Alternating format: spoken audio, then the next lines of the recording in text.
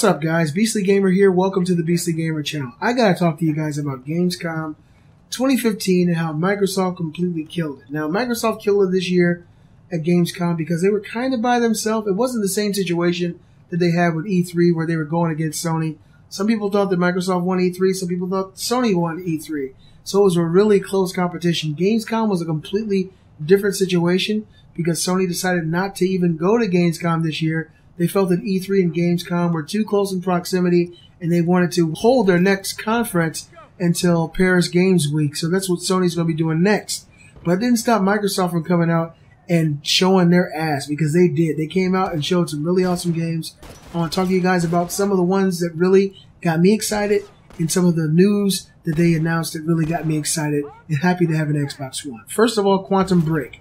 The game that everybody's been wondering about, we saw very little of, looks amazing. This game looks beautiful. It looks like Infamous Second Son times three. It looks that good. Uh, it has beautiful lighting, beautiful character uh, lighting effects, particle effects. If you guys don't know what this is about, this is the game that Remedy has been working on for a while. That's supposed to be created in tandem with a TV show that coincides with what you do. They did uh, kind of announce at Gamescom that the entire show will be on the disc. So when you buy the game, you're going to have the game, and then you're going to have the show as well. So, and they did show uh, scenes from the show. It looks very well put together. Some very well, uh, highly noted actors are in this show. The main protagonist, I don't know his name, but if you guys have seen any of the X Men movies, it's Iceman. That's who he is. He's the main character in Quantum Break. Game looks really amazing. I'm excited for it, and I can't wait to play it. Another game they showed was Crackdown 3.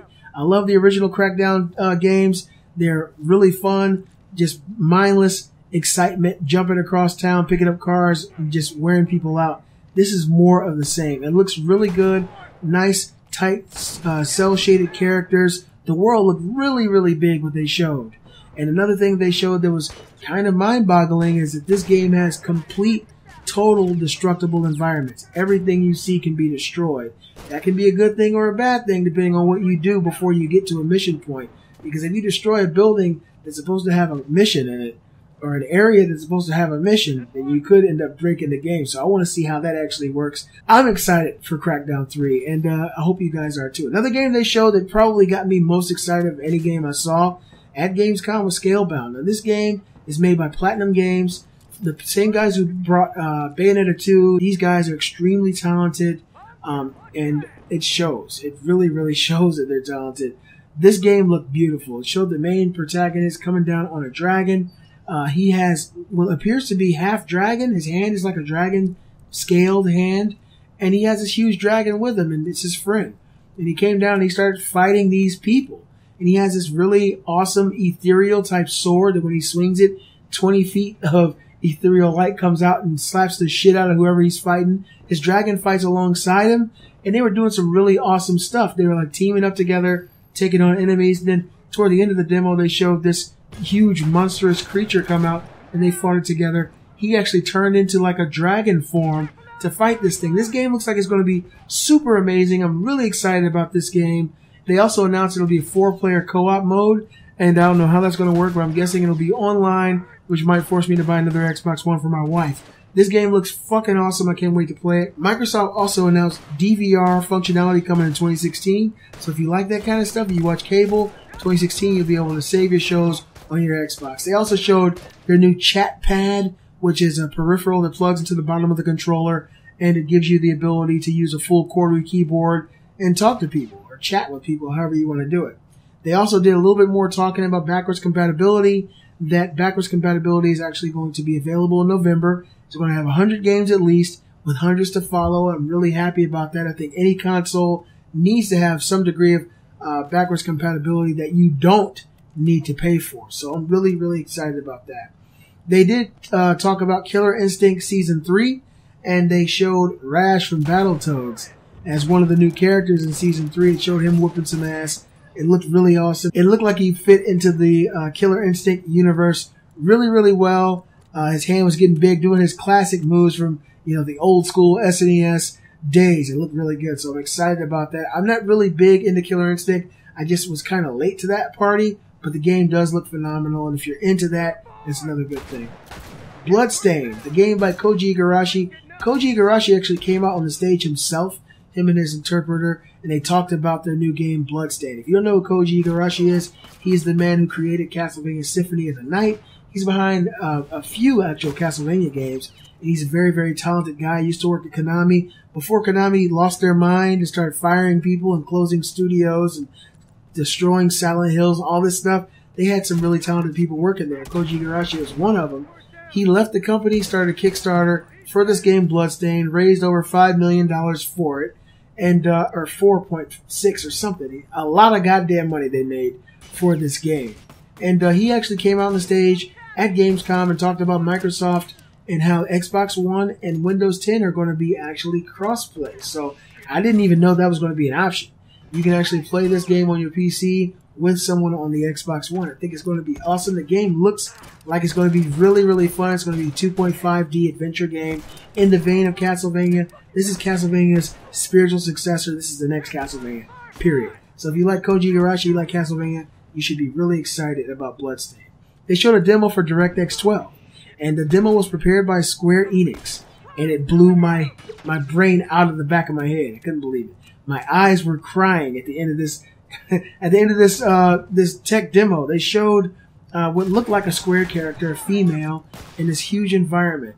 And basically, the camera was moving around. You could tell that someone was manipulating the camera, going to extreme close-ups of her lips and her eyes, zooming all the way back so you could see the world. If DirectX 12 is is uh, responsible for these types of graphics, the Xbox One has a very, very huge leap coming in its near future. It's going to be a huge leap because those graphics look totally insane. I don't know if it was PC only or what. If Xbox One has the capability to run these type of graphics in the future, PlayStation is going to have some real trouble on their hands. I, am not a developer, so I don't know. I'm just telling you what they showed and what they said. And if DirectX 12 looks the way that they showed at Gamescom, uh, competition needs to really tighten up and make sure they stay on the square because it, it really looked amazing to me. They uh, showed Dark Souls 3 uh, and Dark Souls 3 is a game I'm super excited about. I love uh, Bloodborne. That was really the first of the Souls types of games that I actually completed. Dark Souls, Demon's Souls, have them, never beat them. I was playing other games that are a little difficult for me at the time, and I didn't understand exactly what I needed to do. I was like, why put myself through this torture when I could just go fucking race a cart or something? But Bloodborne kind of opened my, my mind up to what I was supposed to be doing and what the experience really was and how rewarding it was. And so I'm super excited to get Dark Souls 3. Uh, and this game is going to actually borrow a lot from Bloodborne, so I'm extra excited about it.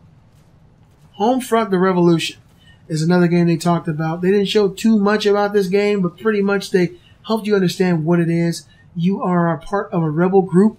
Uh, at the end of, well, in the first game, if you guys never played Homefront, the United States is taken over by Korea and uh, or China or one of them. I'm trying to remember which one. The people look real similar, but it was taken over uh, during the war, and basically, uh, United States citizens, Americans, became prisoners of war in our own land.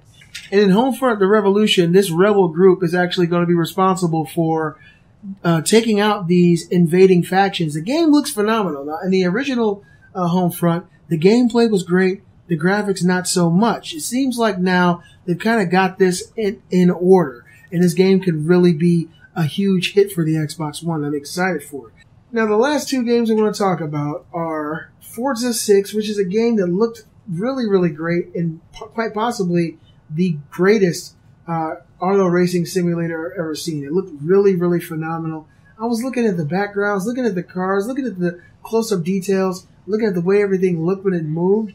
It looks almost photorealistic, and, and a lot of people say that about the last one too but it looked great. I'm just not in, it's not really my cup of tea. Kind of like FIFA. I don't play certain games, but it does look really good. And so from the visual aesthetic alone, it kind of excited me. I was like, shit, look at how good this looks.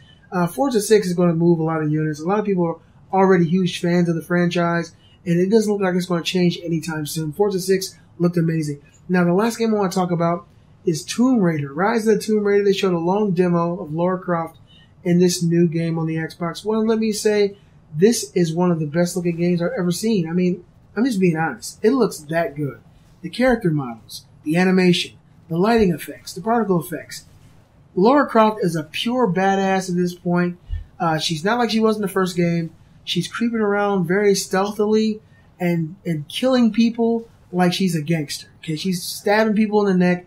You got to keep screwdrivers and razor blades away from this woman because she uses them without abandon at this point. She is really out to hurt people, and it's pretty obvious she's trying to protect herself. Right? The game looks phenomenal. I cannot wait to play it. They showed a long demo. My Xbox One is just steamed up, ready for this game. Uh, and PlayStation owners will get it in a year, but I gotta have this now. It looks really, really good.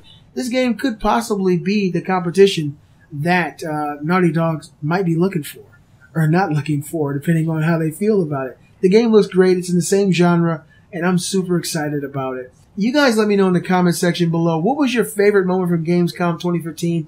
Microsoft killed it this year. I'm super excited about it. I'm really, really excited to see what happens at Paris Games Week. If Sony has something up their sleeve, because if they don't, if Sony doesn't have anything up their sleeve at this point, Microsoft has a good opportunity or a huge chance to grab some of that profit share and, and move it over to their side. Because they've actually got games. They've got exclusives. They got, that's all I heard during Gamescom. Microsoft exclusive, Xbox One exclusive, exclusive. I couldn't believe it. So I'm really excited about it. You guys let me know what you think. Be sure to hit that thumbs up button and show support of the channel. And if you're new to the channel, subscribe. I'm the Beastly Gamer, and I'll see you guys next time.